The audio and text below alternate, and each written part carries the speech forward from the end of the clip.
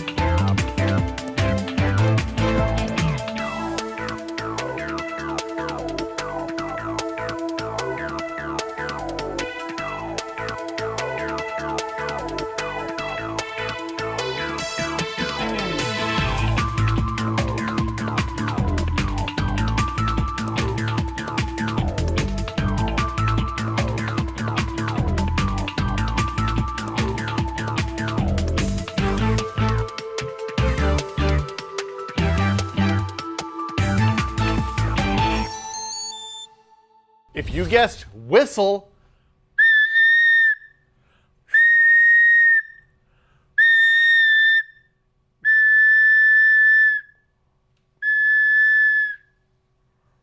you were correct. Uh, this was designed by Zago, uploaded to Thingiverse. I downloaded it, put it on my MakerBot. You can too. We'll see you guys next week with another edition of Print the Mystery Object.